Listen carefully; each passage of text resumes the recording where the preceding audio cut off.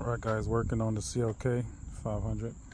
So I'm um, trying to fix the tabs on the drop top because they don't they don't level off or flatten easily. See how this one goes down? And that's flat. But on the other side, this one is not flat and it sticks up a little bit. There's also a trick where this was actually popping out. I'll show that to you shortly. So this was um, popping up.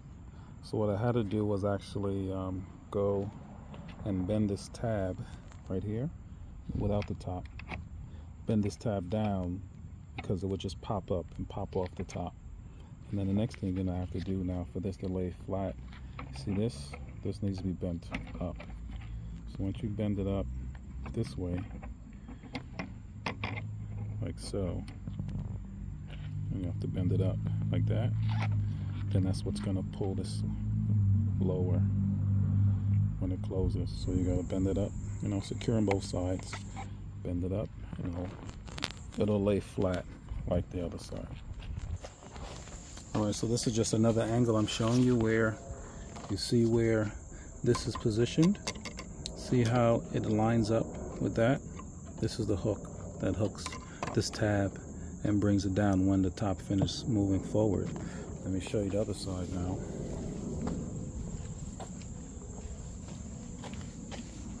This is the other side. See how far off it is from the tab? It's all the way out here and it should be more so to the outside. It should be more so to the outside to line up with this tab at the bottom. So this has to be bent back so it's you know it's a good 90 degree. But this is not um, going straight down. It's bent back that way so I have to bend this tab back this way. Okay so what I found out now trying to fix this tab is that it actually wasn't the tab in question. It's actually this the brace itself. Look it's loose. See that? It's moving. So that's why this tab was that way and that's why it wouldn't drop down enough so now I'm going to adjust this tab properly and then that'll fix the problem and bring that tab flush. Stay tuned, like and subscribe. So I looked on the side here. This is the side that's working and I looked at the alignment and it shows about um, about half, half off, half on. So I'm going to line up the other side the same way. I'm going to use my um, trusty Ryobi. Uh, the size is a um, T30 as you can see T30 so before I use that I'm going to line it up. Just like the other side half and half from the top. There we go. It's half and half. You can see it line it up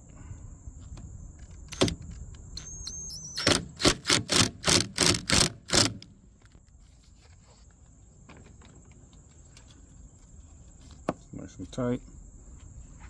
Let's put it down and see what happens. All right, so I'm gonna put it down.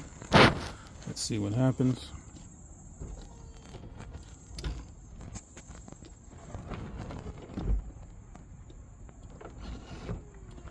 There we go. Now it seats. See how this looks?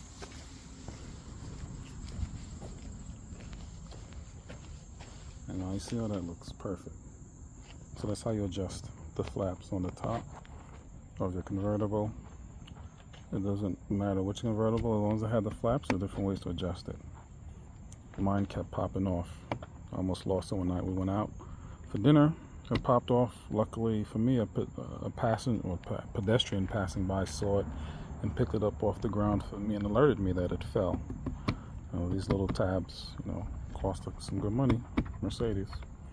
So now it works nice and flush, just like the other side. You gotta love it. This is Mr. Settin 007. Like and subscribe, share, comment, help me build the channel. I appreciate it. Have a blessed day.